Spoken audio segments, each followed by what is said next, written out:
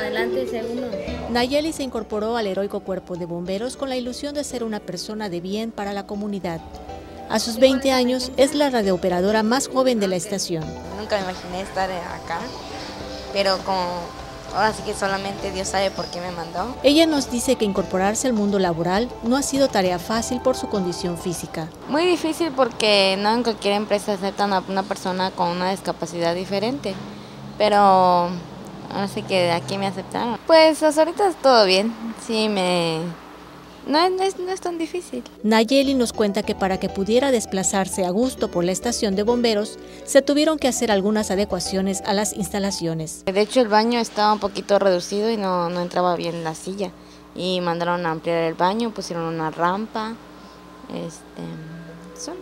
Una semana antes de ocupar su puesto como radiooperadora, recibió su curso de capacitación. Después de unas semanas de trabajo, sus compañeros hablan de su desempeño. Esto es importante porque ganamos dos bomberos más en la lucha contra el combate de incendios, el cual pues nos vienen a, dar más seguridad a la sociedad. ¿no? Pues sí, ahorita como está empezando todavía le estamos enseñando bien cómo lo que hacemos, eh, los tipos de servicios que cubrimos.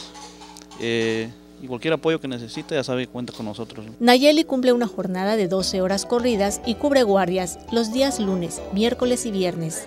Nayeli forma parte de un grupo de personas que han sido contratadas por el Ayuntamiento de Tuxtla Gutiérrez a través del programa de apoyo a personas con discapacidad, que busca la inclusión de este importante sector de la población al desarrollo económico de la entidad. Claudia Cantón Chiu para Radio TV Chiapas.